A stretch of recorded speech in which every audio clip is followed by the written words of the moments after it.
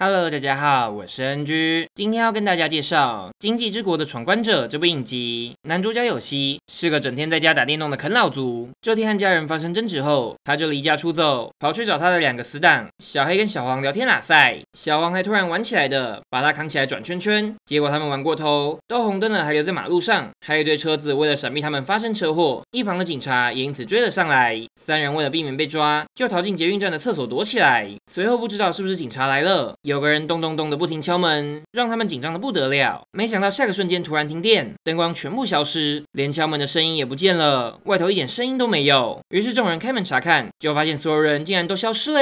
觉得很怪的他们，就一路往外走去。只是路上一个人也没看见。更诡异的是，捷运站外的大量人潮也全都不见了。到底怎么回事啊？为了搞清楚状况，三人就分头行动，想找个人来问清楚。可找来找去，却谁也没看到。整座城市的人都像蒸发一样消失了。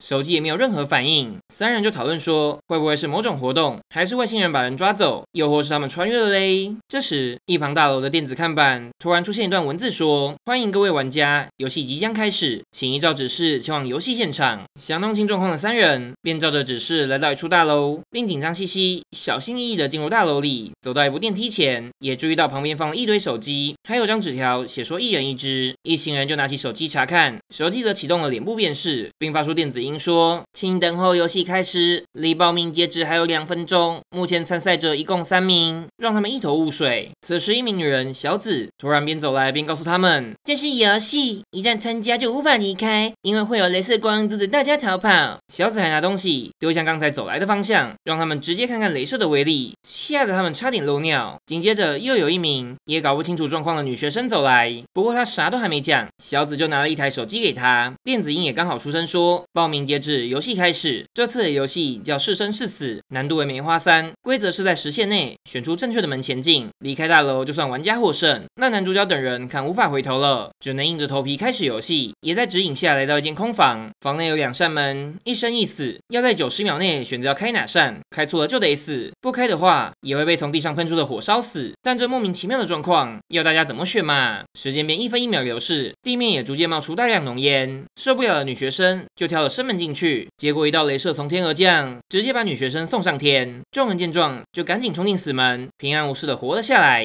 同时，男主角等人也明白了，这游戏是认真的啊。于是众人绞尽脑汁思考，接下来该开哪道门。可时间不断流逝，众人始终没有定论。小王就拼了的打开生门闯进去，好险这也是安全的，让他们又活了下来。这时，其实解谜能力超强的男主角就突然想到选择的方法，并向众人解释说：刚进大楼时，我注意到这栋楼。楼全长大概二十公尺，一个房间大概就是六公尺。电梯旁的逃生路线图显示，这栋楼跟房间形状都接近正方形，也就是说一层楼大概九间房。只要依照刚才经过的安全房间来推测危险的房间并避开，就能不断前进了。因此众人就照男主角的攻略不断往前冲，也真的平安无事，顺利找到出口离开。虽然过程中小黑的脚被烧伤，但他们成功通关游戏了。之后他们在出口处发现一张梅花三的扑克牌，手机也在此时传出电子音说通。关游戏后可以得到签证，像赢了棉花三的游戏就能得到三天签证。签证失效的话就会被镭射杀死。然后他们就注意到天空中竟然射下一堆镭射，这就代表一定有超多人在玩这个乐色游戏，有超多人死掉了啊！接着众人就趁空档寻找这个世界的线索，也发现大部分食物都是腐败的状态，电子产品都无法使用，只有不用电子晶片的旧机器才没问题。男主角也推测出这个世界一定有所谓的游戏管理人在控制。然后众人就决定分头行动，小紫照顾受伤的小黑，男主角跟小黄趁还有体力时，先去参加下一个游戏，多了解一点状况。于是两人咻的找到下一场，在一栋大楼里举行的游戏。参赛者一共有十三人，游戏是难度黑桃五的捉迷藏。旁边一名不重要 A 就好心的告诉他们，每种花色都代表不同的意义。黑桃是靠体力取胜，梅花是靠团体合作，方块是靠智力，红心是靠背叛欺骗。数字大小则是难度，越高越难。这次的游戏规则是玩家不能被鬼抓到，且必须在二十分钟内找到阵地，触摸阵地中的物体后才算破关。二十分钟后没碰到的话，建筑就会爆炸，把所有人炸死。很快的游戏就开始了，玩家们为了求生，基本上都各自散开躲藏。毕竟相信别人，可能就被害死嘛。男主角跟小黄则抓紧时间寻找阵地，可房间太多了，根本找不完。没多久后，鬼就出现了。鬼是一个戴着马头面具、手拿枪枪的家伙，还刚好撞见主角们，对他们不停开枪。不过没差，男主角急中生智，随便找了个缝隙躲起来，就成功把鬼甩掉。然后他也发。发现鬼因为戴着头套，视野受到限制，看不了太远太广的地方，所以他立刻大喊，把鬼的位置告诉其他人，因为只要玩家轮流报位，就能避开鬼了嘛。有名女子女主角听到他大喊后，就马上配合他喊出鬼的位置，还飞檐走壁躲过鬼的攻击。同时，男主角跟小黄在逃离鬼时，遇到两个手上都带着一串钥匙的人，分别是超壮的素国和不重要逼，他们打算趁鬼换子弹时消灭鬼。小黄知道后，就决定加入他们，好让男主角有时间去寻找阵地。于是男主角就用他的超高智力，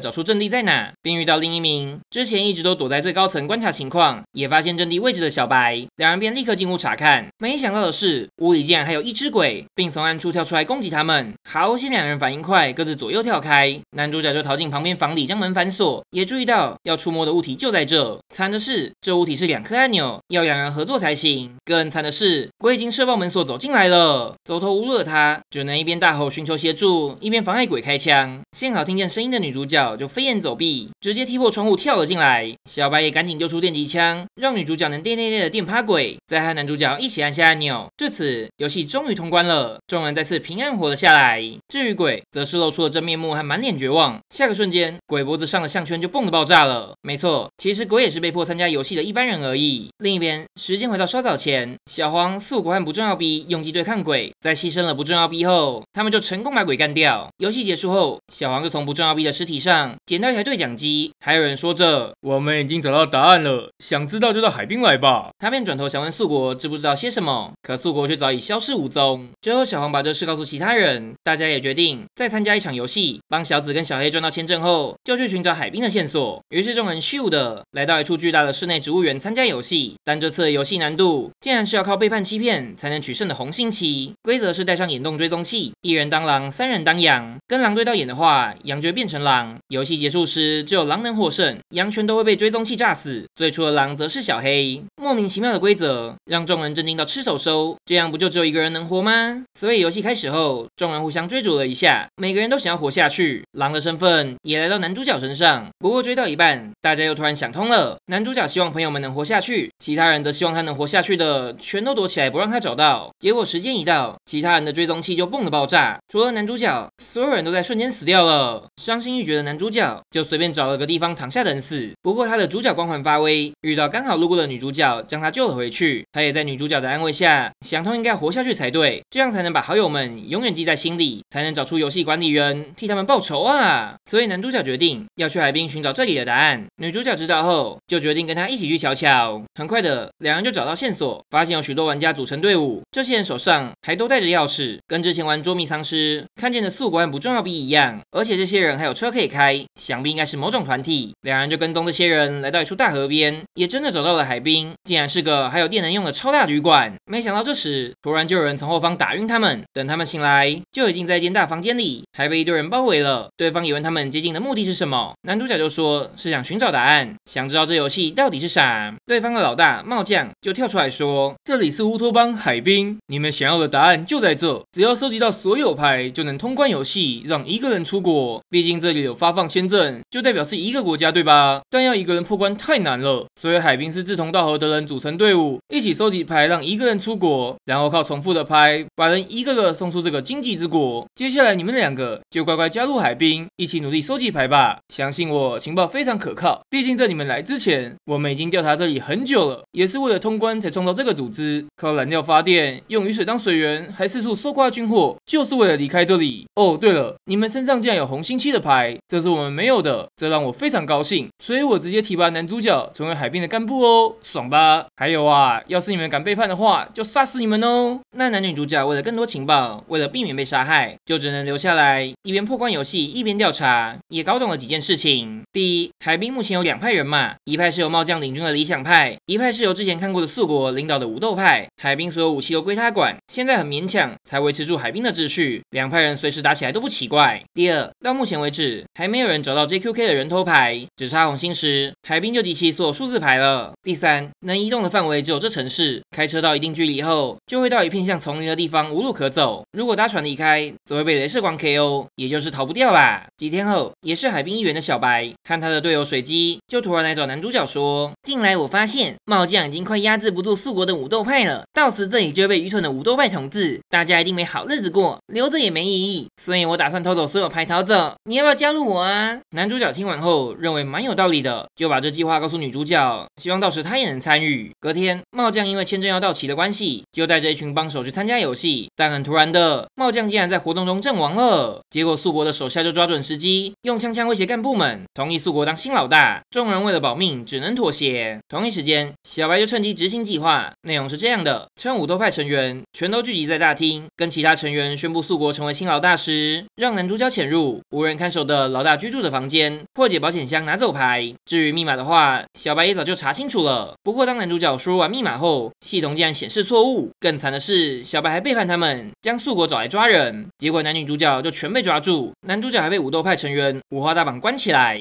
而小白会背叛的原因，是因为他推测牌不会放在普通保险箱里，先让男主角去当替死鬼，这样素国就会紧张的看向真正的地方，他就能轻易找到保险箱，输入密码拿出里面的牌路。另一边，素国的手下小坏坏把女主角抓到别的房间里，打算这个那个。这时电视就突然亮了起来，荧幕上还显示游戏即将在这旅馆开始，全体人员都得参加，并到大厅拿手机听取规则。突如其来的状况吓得旅馆里所有人拼命赶到大厅，也惊恐发现地板上躺着一个被刀捅死的女性。哎，此时手机传出电子音，告诉众人，本次的游戏是难度红心十的猎杀女巫，杀害女性的凶手就藏在人群中，玩家必须在两小时内找出来，丢到外面的火堆烧死。众人一听，就开始争吵要找出凶手，也怀疑死者萌萌花的闺蜜朝阳很有问题，因为平常两个人都黏在一起，怎么今天就分开了呢？这时四国境跳出来说什么只要不是武头派成员就都有嫌疑，还有手下们把所有人杀光，吓得众人疯狂尖叫逃跑。随后武头派成员就在旅馆里大杀特杀，再把尸体丢到火堆里检查是不是女巫，甚至还有人放火想烧掉整间旅馆。女主角则是拿了台手机，和照样跟其他几个志同道合的人一起去找男主角，认为现在只有他能找出女巫是谁。一群人也在一番搜索后，终于找到被囚禁的男主角，顺利将他救出来，并赶紧告诉他所有状况。男主角听完后，认为要从游戏管理人的角度来思考这个游戏，因为这游戏出现的时机根本是为海滨成员量身打造的，明显是某个知道状况的人干的。然后他想了又想，就突然想通女巫的身份和这游戏真正的目的了。另一边，海滨成员几乎被杀光了，幸存的人也全都被武斗派逼到大厅中央。好险在素国要下杀手时，男女主角等人就跳出来大喊“修蛋鸡嘞”，并开始讲解真相。武斗派的战斗力其实早就能消灭猫将的理想派，可他们却没这么做，因为素国和猫将其实是并肩合作的好朋友啊。为了避免危险分子失控，素国才成立武斗派压制这些人。素国一听就回想起和猫将的过往时光，原来两人来到经济之国后，猫将就想打造一个乌托邦，让人们有活下去的希望。但一开始大家都被游戏吓到失去斗志，猫将就想了一个谎言，骗大家只要收集所有扑克牌就能离开这里，才让人们又重新活了过来。可猫将自己却逐渐陷入这个谎言之中，还为了这些谎言，行为变得越来越残忍，无法忍受朋友变成这样的素国，就向猫将提议要解散海滨。结果两人发生争执，猫将就掏出枪来要杀掉他，他只能抢先一步解决猫将。只不过猫将的枪里根本没有子弹，因为他早已承受不住这一切，盼着好友能结束他的生命。现在素国会让手下把海滨成员都杀掉，是想让这些人都当猫将的陪葬品。毕竟要不是这些人，猫将怎么会疯掉呢？游戏管理人就是看准素国的心情才办了这场游戏。真正的女巫其实就是萌萌花，她是靠自杀来引发这场混乱的。这些真相就让众人震惊不已，原来都被素国骗了吗？素国则是不断大吼大叫，还像疯了一样到处攻击，想杀光害死猫将的人，也期望着自己能被谁给杀死。眼见情况越发失控，朝阳就告诉男主角，他有办法让所有人停下来，也要大家趁机把萌萌花丢去烧掉，结束这无意义的互相残杀。然后朝阳就冲到大厅中大喊：“人家是这个游戏的发牌